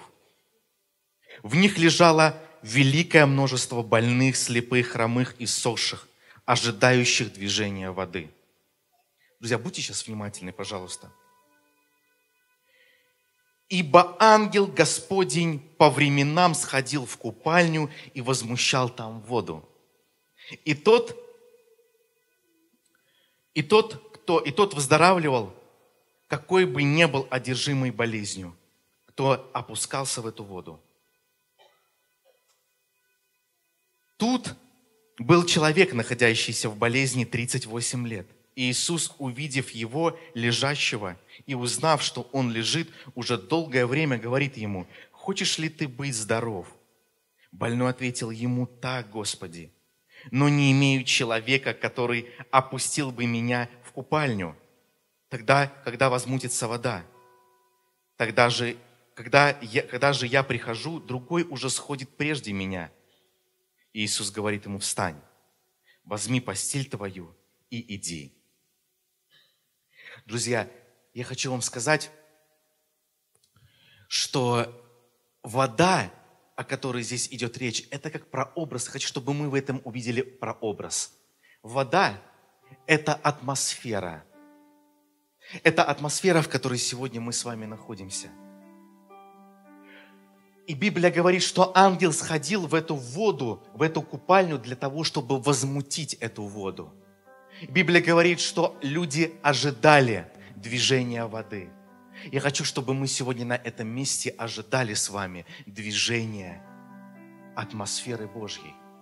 Чтобы мы сегодня ожидали и были в ожидании, что атмосфера Божья, она будет приготовлена для того, чтобы Бог, чтобы Дух Божий, чтобы ангелы могли сделать то, для чего они будут посланы. И смотрите, Библия говорит, что время от времени ангел сходил. Я хочу вам сказать, что у ангелов у них есть время. Определенное время, назначенное время, когда нужно прийти и исполнить то, для чего они посланы. И когда возмущалась вода, человек опускался в воду и исцелялся, какая бы, какая-либо не была бы болезнь на, тот, на том месте. И смотрите, что интересно. Больной, который болел 38 лет, он ожидал, что человек возьмет и поможет ему и окунет его в воду. Но у него это не получалось. Знаете, драгоценные, я хочу, чтобы мы прежде всего увидели здесь очень важный принцип в этом местописании. Бог желает, чтобы сегодня мы прежде всего не ждали человека, который нас толкнет, который, которого Бог использует для нас. Я хочу, чтобы мы прежде всего, первое, что мы сегодня на этом месте ожидали, что Бог будет говорить ко мне лично. Вы представляете, Он ждал человека, но сам Христос пришел к нему. Сам Бог пришел к нему и не толкал его в воду, а сказал просто слово ему. Встань, иди, ты исцелен. Я хочу, чтобы мы сегодня прежде всего, прежде всего ожидали слова от Господа. Чтобы мы прежде всего ожидали Христа, проявленного на этом месте – но также мы были открыты, это уже второе, для ангельского действия. И чтобы мы были открыты уже как третье для человека. И Бога, действующего через человека. И видите, мы видим здесь три принципа, которые использует Бог – и Бог желает прежде всего, я хочу вам сказать это с точностью, что Бог желает говорить к нам лично. Говорить лично к тебе. Говорить лично с тобой. Второе, я еще раз повторюсь, Он хочет использовать ангелов для того, чтобы помочь тебе, принести тебе послание, даже говорить, учить тебя на этом месте. И третье, Он будет использовать человека – который будет тоже как инструмент Божий. Но хочу, чтобы мы понимали вот эту расстановку. Но когда мы ждем прежде всего человека, мы минуем двух остальных, главнейших принципа, который Бог использует. Вы со мной, драгоценные? Я хочу, чтобы мы были открыты для этого. И пусть на этом месте вода она будет возмущена настолько, насколько это возможно. И пусть эта атмосфера, она подготавливается в духовном мире для того, чтобы ангел, для того, чтобы Дух Божий, для того, чтобы мы, служители, были открыты и чтобы мы могли сегодня высвободить то, что Господь желает высвободить для вас на этом месте во имя Иисуса. Хорошо? Слава Богу.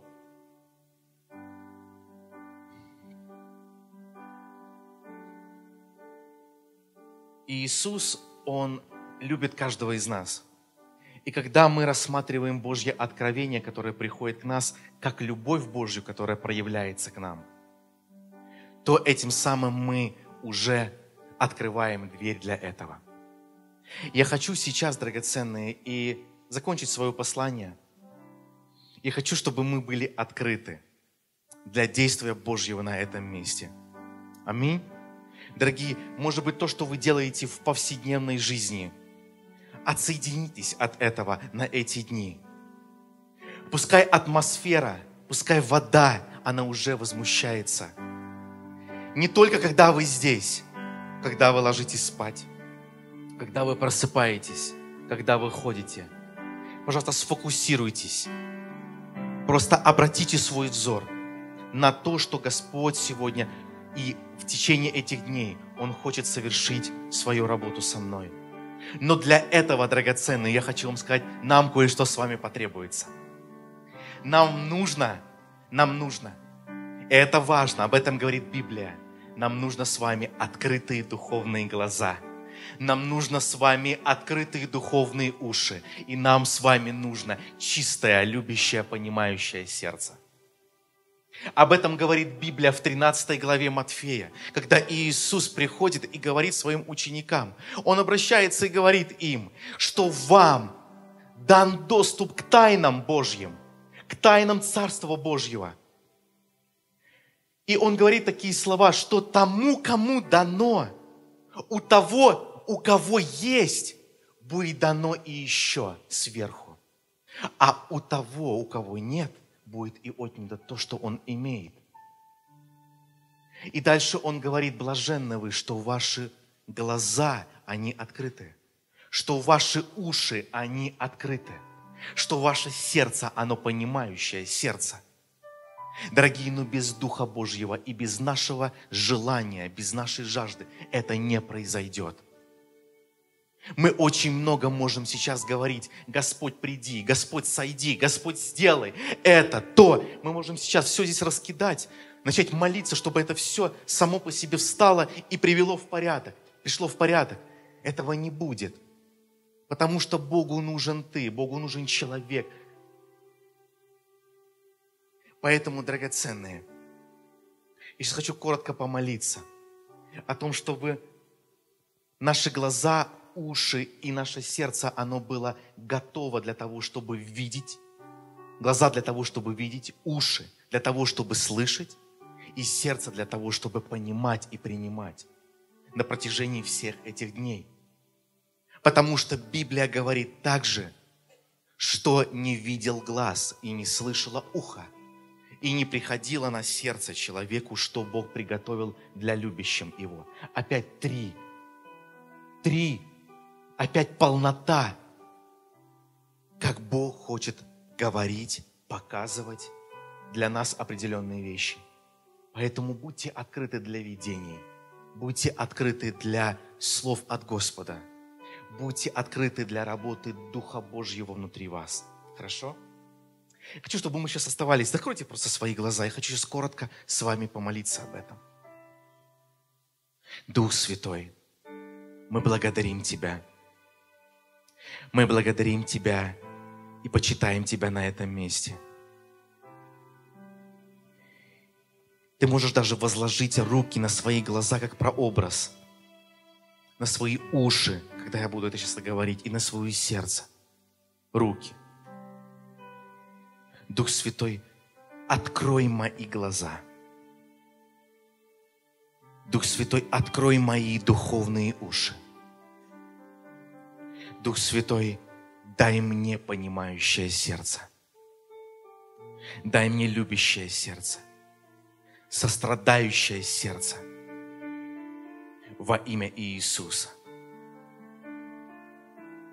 Я еще раз хочу сказать, дай мне Дух Святой.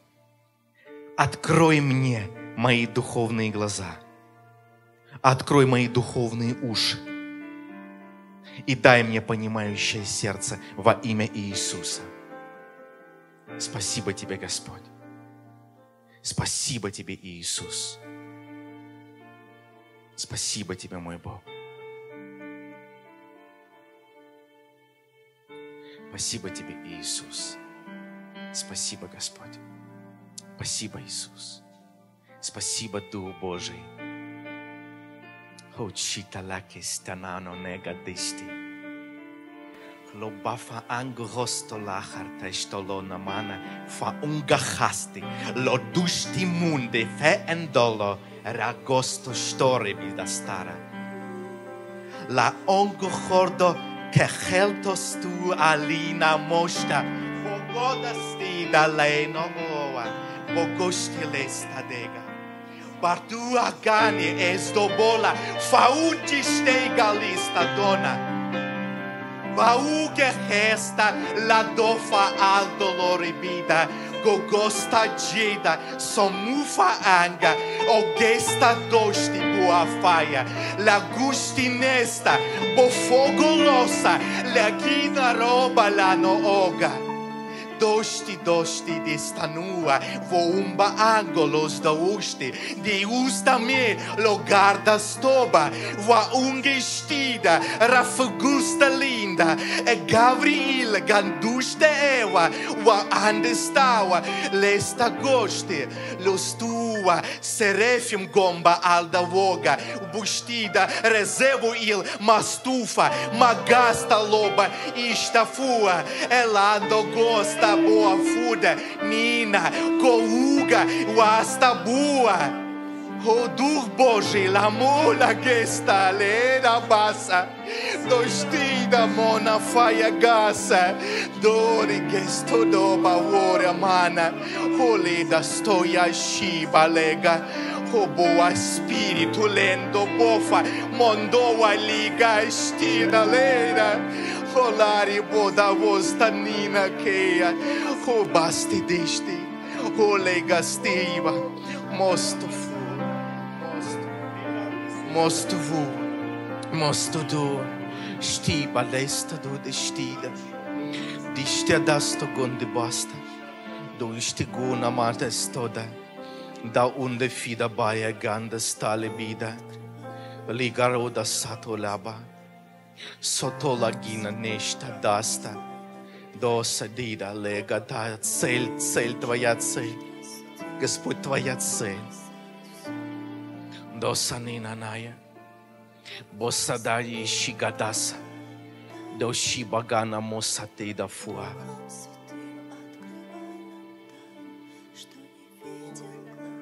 Хочу, чтобы мы сейчас с вами встали, чтобы мы встали с вами.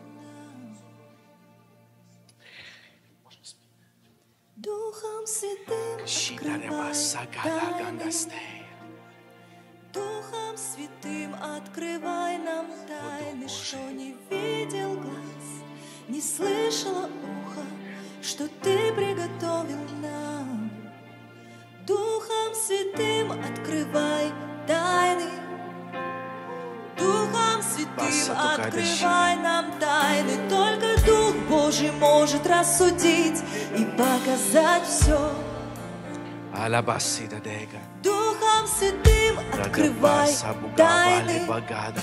Отец, спасибо, Духом кеда Святым каши, открывай ледаса. тайны, что не видел глаз, не слышало ухо, что Ты приготовил нам. Спасибо тебе, Господь, спасибо, Иисус.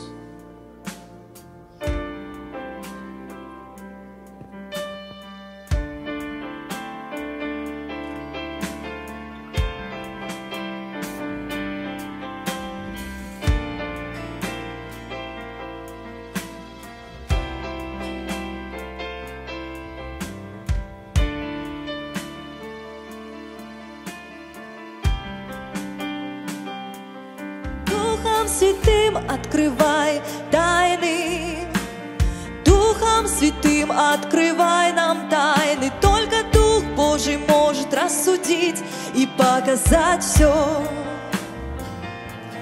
Духом Святым открывай тайны. Духом Святым открывай нам тайны, что не видел глаз, не слышало ухо, что Ты приготовил нам. Духом Святым открывай тайны, Духом Святым открывай нам тайны, только Дух Божий может рассудить показать все. Духом Святым открывай тайны, Духом Святым открывай нам тайны, что не видел глаз, не слышало ухо, что Ты приготовил нам, Боже, святый.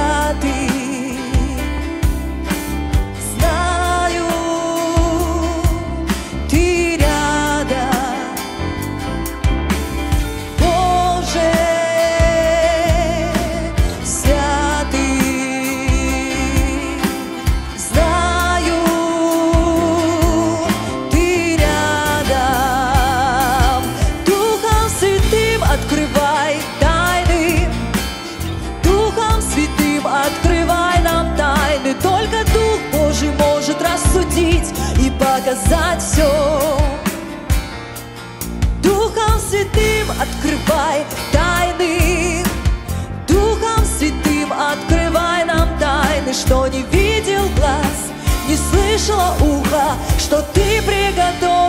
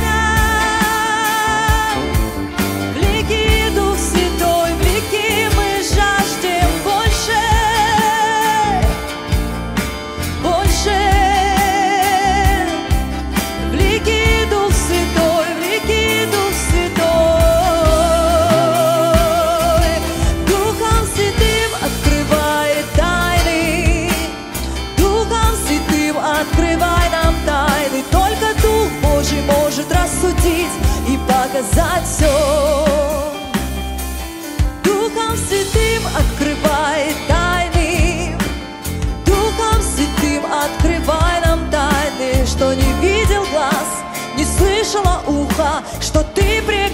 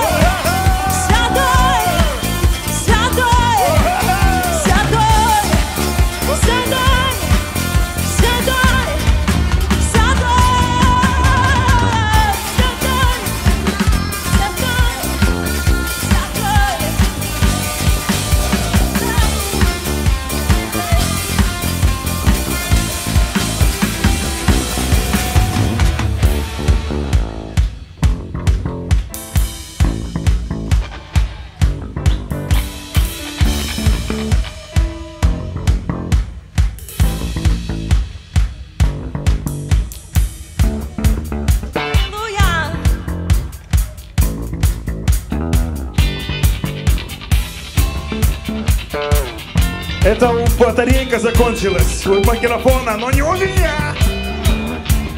Слушай, если тебе мешают твои кольца Сатурна, это не беда. Знаете, танцы для Господа – это лучше любого ПП. Это я вам говорю. Оу! Оу! Эй-эй-эй! Эй-эй-эй! Эй-эй-эй!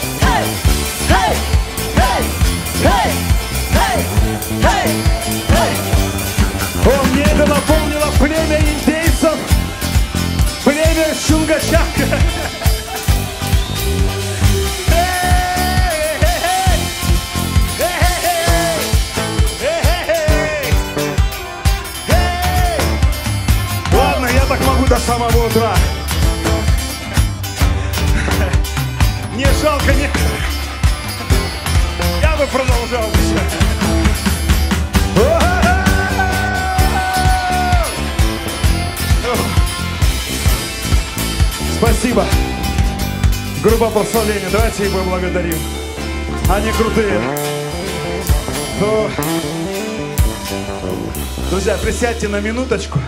Я обещал, что мы будем руки возлагать. Я верю пророку. Написано, доверяйте пророкам. Марк, сто процентов проверенный пророк. Огромное количество пророческих снов.